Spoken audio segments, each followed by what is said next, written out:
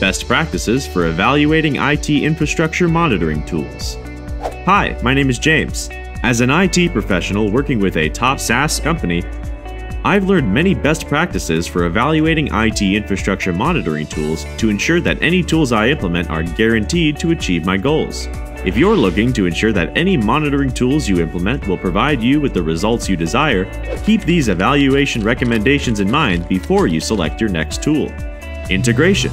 Before you implement any new monitoring tools, it's essential to verify that any tools you're looking to implement will integrate with your existing IT operations management tools, or else you will not be able to meet any business goals you're trying to reach with your new tools.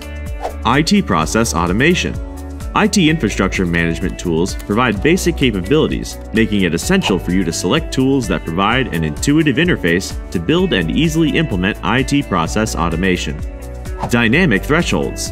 Some tools use basic pattern recognition to automate the settings of thresholds, which can be used to ease the efforts needed from your operations teams toward manually setting thresholds for identifying actionable events that have the right priorities. SaaS and on premise offerings.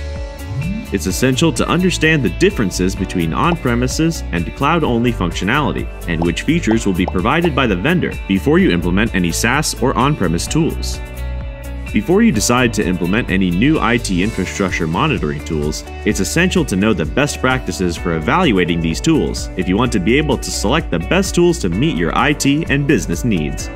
If you want to learn more about best practices for evaluating IT infrastructure monitoring tools, click the link below for more information.